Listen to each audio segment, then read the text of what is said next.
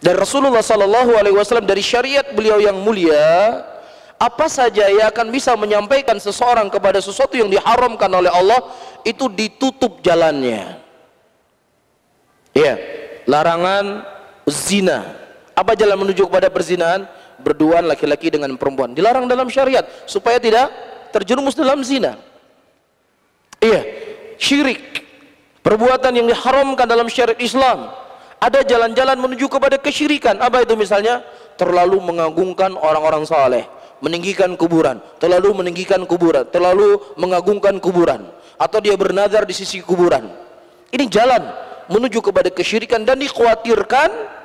Apalagi misalnya segala kebutuhannya, segala hajatnya, segala nazarnya kalau memang diberikan kepada kuburan selalu berhasil. Ah, ini kan jadi fitnah ini buat kita.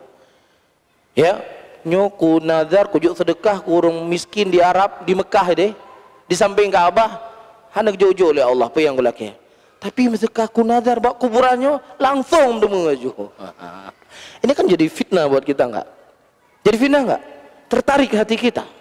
Makanya Islam menutup segala pintu ia akan menggiring seseorang terjatuh ke dalam hal yang dia larang dan di ya dibenci oleh Allah subhanahu wa ta'ala.